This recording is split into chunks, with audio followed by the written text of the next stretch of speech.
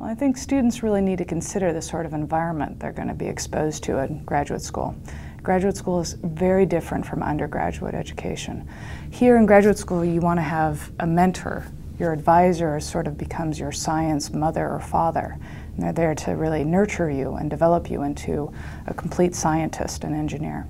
And at Davis, you really get that intimate um, interaction, commitment from the faculty, the staff, the administration to support graduate students and make sure that they have a really good educational enrichment while they're here. So at UC Davis, when we admit students, all of them were committed to making sure they succeed. And so you're not just one of a number that we're hoping half of them get through at the end of the pipeline. We're here to make sure that all of our students excel.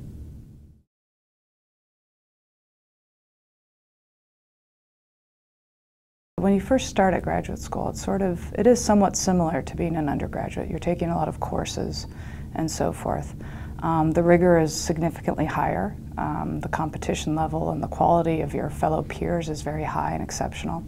And that raises the bar for everyone, so you really have to push yourself, hard work, motivation to succeed and do well.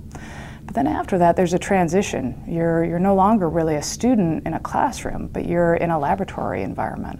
And you have to learn from those around you, learn from your advisor, network, um, take advantage of the whole community here on campus to really make sure that your research gets pushed forward in a rapid pace. Um, the big difference is there's, there's really a transition between absorbing information versus creating new knowledge in graduate school.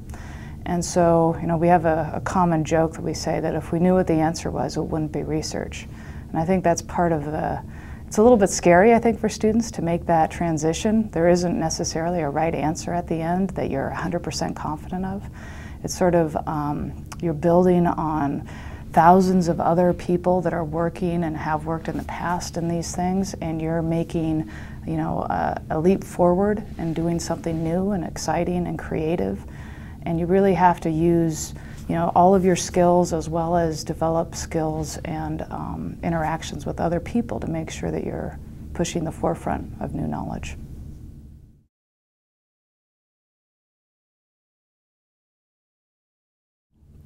Well, I'd say I'm an engineer, which a lot of people don't expect. Um, I'm a mother, I have two kids, and um, that's sort of a little bit different. You can be a, a woman in science and engineering and excel. And um, if you come to campus at UC Davis, you'll find that there's a tremendous number of diversity. There's lots of women, people of color. It's very diverse. Um, there's also a lot of international students. So you get exposed to just different perceptions and cultures while you're here. Um, the typical student isn't necessarily 22 years old and straight out of their undergraduate career. Um, I'd say probably some, you know, there's a, a, good percentage that have already been working for a few years and have decided to come back and get an advanced degree. Um, there's people that have taken a year or two to really figure out what they want to do as well and come back. So you have this different life experience here at graduate school. Um, I remember in one class I was a little bit surprised because I thought, oh, I being, you know, somebody checking me out? Because there was a gentleman who was about 50 in my class, and this was a sophomore class, and I was very surprised he was just another student who was coming back to change his education so and his career pathway.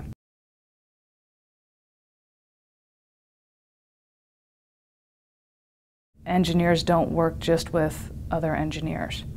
We work with biologists, chemists, physicists, neurobiologists, other engineers, and it's even humanities and social sciences. And all of those people giving different perspectives and putting it all together is how science is really moving forward now. It's not just working as an individual. Um, you really need to work in a team and mix it up and have different ideas and bounce them off of each other. And um, you know, sometimes they're totally crazy, and somebody will go, "Hey, that's totally crazy," but it really makes you think differently.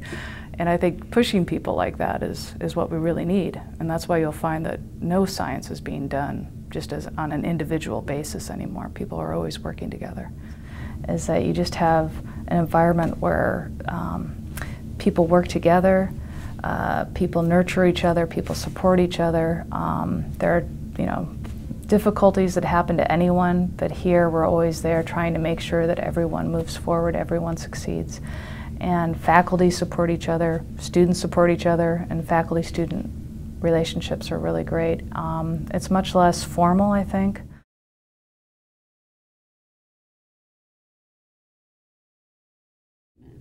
I think the, the people that make good engineers are the ones who don't necessarily want to memorize something. They want to know why something works the way it does.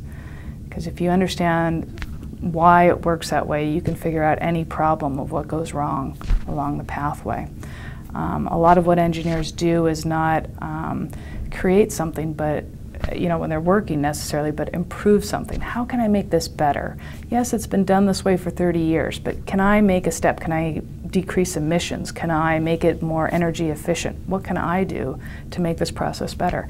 And that's a lot of what engineering is, is, you know, really making strides forward to keep on pushing and improving things.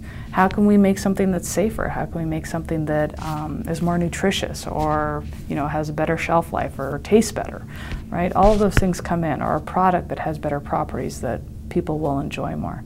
Um, that's a lot of, of what drives engineers. And so it's, it's solving problems for society and improving things for society. And I think um, I teach a, an undergraduate course that's right at the beginning, and I ask students why they want to be an engineer, in particular, why they want to be a chemical or biochemical engineer. And um, the answers are always there's a huge um, aspect of I want to make things better for the world. And I think that is probably what drives our, the people that come to Davis the most. And they know that to do that, they need their engineering skills and they need to have good problem solving skills. And they'll get that here, and they'll be in an environment where that's part of what we try to accomplish.